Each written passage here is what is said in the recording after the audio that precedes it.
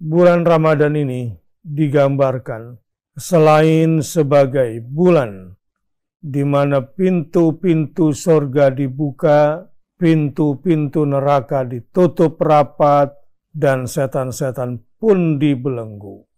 Tapi ada suasana lain yang digambarkan oleh Rasul dan kita kadang nggak nggak menangkapnya.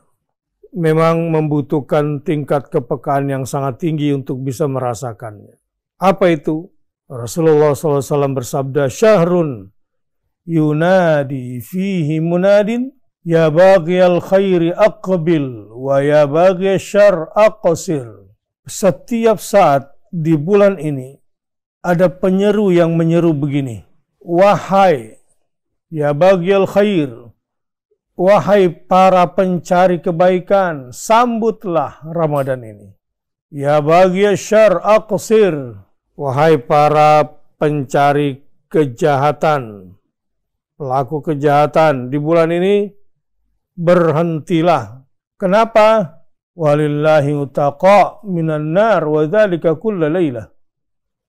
Karena di bulan ini Allah akan membebaskan orang-orang dari neraka dan itu akan terjadi setiap malam akan terjadi setiap malam ada orang yang dijanjikan oleh Allah terbebas dari siksa api neraka. Boleh jadi umurnya masih panjang dalam kehidupan dunia ini tetapi Allah sudah tetapkan dia sebagai calon penghuni surganya.